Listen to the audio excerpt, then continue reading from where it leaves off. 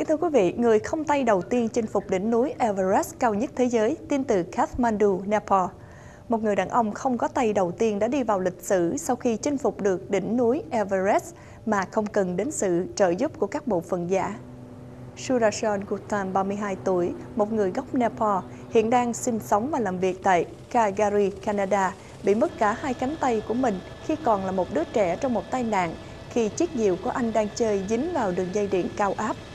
Sau khi được đưa vào bệnh viện, thì các bác sĩ buộc phải cắt bỏ hoàn toàn hai cánh tay của anh.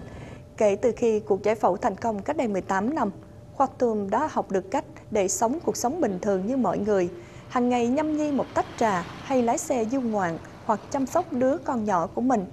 Khatum quyết định có một bước đột phá trong cuộc đời khi quyết định chinh phục đỉnh núi Everest.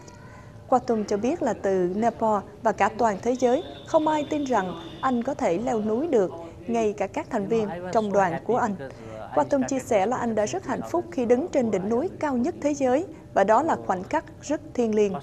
Quatum chia sẻ với các phóng viên để leo lên được đỉnh núi lớn như Everest là tập hợp của những thách thức rất lớn. Anh mở màn cho chiến dịch hành động dành cho những người khuyết tật, trước là Everest, sau đó sẽ mở rộng quy mô, chinh phục đỉnh cao Chala 5.700 ở dãy Hy Mã Lạp Sơn. Khoa Tung cho biết là điều quan trọng nhất là anh đang nói về những khuyết tật của mình.